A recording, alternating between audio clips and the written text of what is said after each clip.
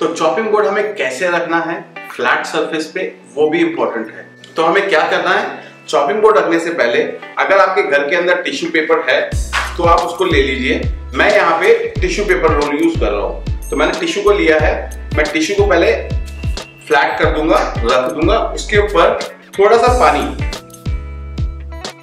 थोड़ा सा पानी स्प्रिंकल कर दूँगा। ज़्यादा नहीं, थोड़ा सा पानी मैंने स्प्रिंकल कर दिया इसके ऊपर मैं रख दूँगा चॉपिंग बोर्ड ये मैं चॉपिंग बोर्ड इस तरीके से रख दूँगा, जिससे स्किट ना हो। अब आप देख सकते हैं ये बिल्कुल स्टिक हो चुका है। अब ये स्किट भी नहीं कर रहा और आप इस पे जो भी काटेंगे, इस पे स्किट नहीं होगा। तो चॉपिंग बोर्ड रखने का प्लेसमेंट मैंने आपको बता दिया।